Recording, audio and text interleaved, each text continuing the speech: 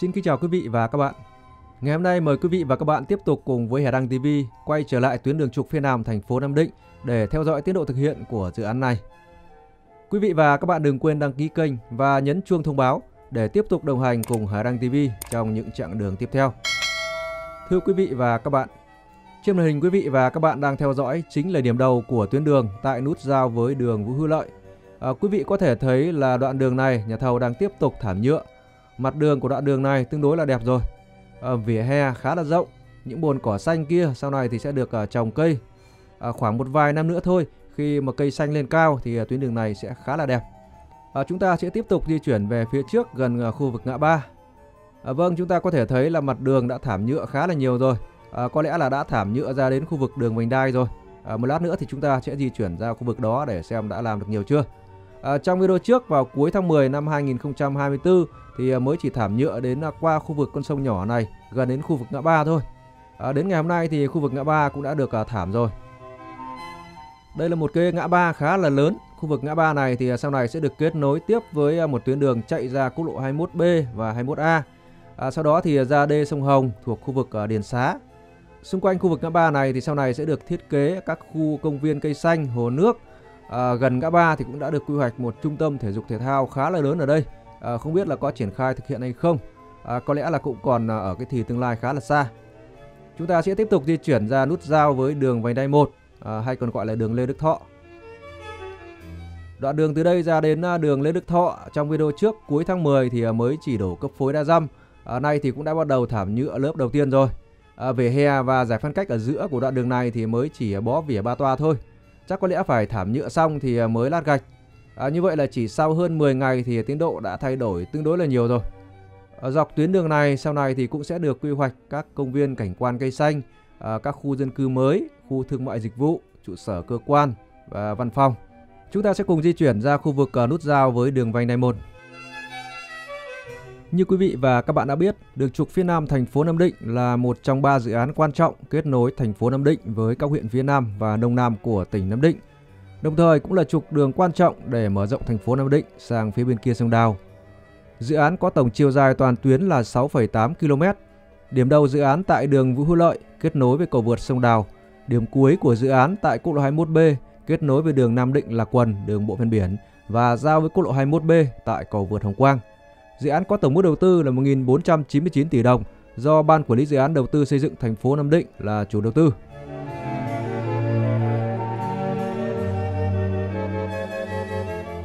Ở trước mắt chúng ta là khu vực nút giao với đường vành đai 1. À, quý vị có thể thấy là khu vực này cũng đã được à, thay đổi tương đối là nhiều so với video trước. À, đã nhìn rõ hình hài của một cái ngã tư rồi. À, chúng ta sẽ cùng di chuyển qua đường vành đai để sang khu vực à, Nam Toan.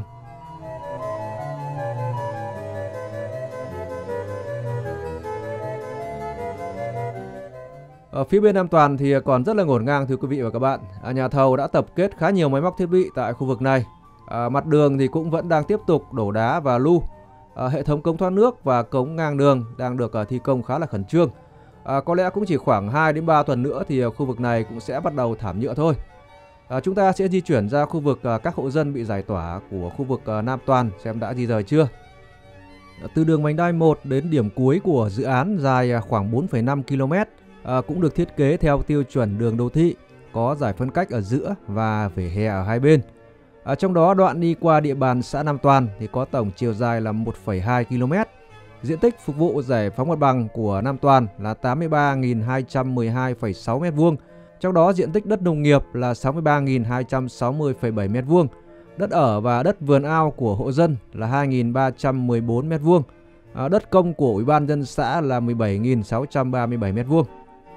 À, vâng, như vậy là một số hộ dân cuối cùng khu vực Nam Toàn thì cũng đã bắt đầu tháo rỡ nhà cửa để di rời rồi.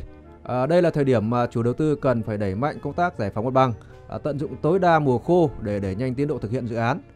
À, chúng ta sẽ di chuyển về phía khu vực làng Bão Đáp của xã Hồng Quang. À, phía bên này thì gần như không thay đổi gì so với video trước. À, từ đây đến làng Bão Đáp dài khoảng hơn 1 km, chủ yếu thì chạy qua các cánh đồng. À, mặt bằng thì cơ bản không vướng gì, À, có lẽ nhà thầu đang đợi lún và tập trung các cái mũi thi công khác quan trọng hơn à, nên khu vực này gần như là không có sự thay đổi. Tuy nhiên thì à, các cái cống ngang đường của đoạn này thì đã thi công xong hết rồi. À, phía bên phải màn hình quý vị à, chính là làng Báo Đáp.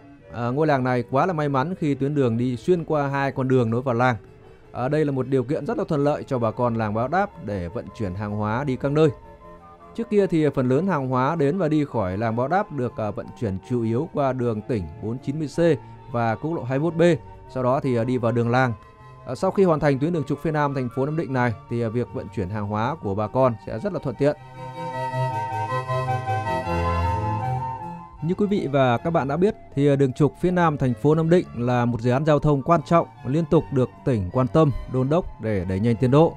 Ở ngoài đường trục phía Nam thành phố Nam Định ra, trong thời gian qua thì tỉnh cũng tập trung đẩy nhanh tiến độ thực hiện các dự án lớn, cụ thể như à, xây dựng tuyến đường bộ mới Nam Định là Quần đường bộ ven biển. À, giai đoạn 2 của dự án xây dựng tuyến đường trục phát triển nối vùng kinh tế biển của tỉnh Nam Định với đường cao tốc Cầu Rẽ Ninh Bình. À, xây dựng cầu vượt sông Đáy nối hai tỉnh Nam Định và Ninh Bình nằm trên tuyến đường cao tốc à, nối từ Ninh Bình ra đến à, Hải Phòng.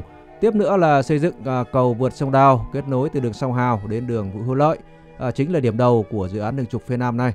À, đồng thời thì cũng đã hoàn thành xây dựng tuyến đường bộ ven biển đoạn qua tỉnh Nam Định à, và nhiều dự án khác trên địa bàn tỉnh. Ở khu vực gần làng Báo Đáp thì ờ, quý vị có thể thấy là khá là ngổn ngang. Khu vực này thì nhà thầu cũng đang tiến hành ờ, thi công hệ thống cống thoát nước à, các cái cầu ngang đường thì cũng đã thi công xong rồi. Từ làng Bò Đáp ra đến sát khu vực chân cầu vượt Hồng Quang tại khu vực nút giao với quốc lộ 21B thì cũng chưa có thay đổi nhiều. À, đoạn cuối sát với chân cầu vượt thì nhà thầu đang tiến hành dỡ tải và cũng đã bắt đầu lưu. À, vâng như vậy là đoạn nửa cuối của tuyến đường này thì tốc độ thi công có phần chậm hơn cái đoạn nửa đầu. À, từ nay đến Tết có lẽ cũng chỉ hoàn thành được à, đoạn từ đường Vũ Hữu Lợi đến đường Vành Đai 1 À, còn đoạn từ vành đai 1 đến chân cầu vượt Hồng Quang thì ít nhất cũng phải hết quý 1 năm 2025 có lẽ mới xong. Quý vị và các bạn vừa cùng với Hà Đăng TV dạo một vòng từ đầu tuyến đến cuối tuyến của đường trục phía Nam thành phố Nam Định. À, từ nay đến Tết Nguyên đán thì Hà Đăng TV sẽ tập trung tăng tần suất đưa tin về các dự án lớn trên địa bàn tỉnh để quý vị và các bạn cập nhật được uh, nhanh chóng và đầy đủ hơn. Quý vị và các bạn hãy like video, đăng ký kênh để không bỏ lỡ bất kỳ video nào của Hà Đăng TV. Xin kính chào tạm biệt và hẹn gặp lại quý vị và các bạn trong những video sau.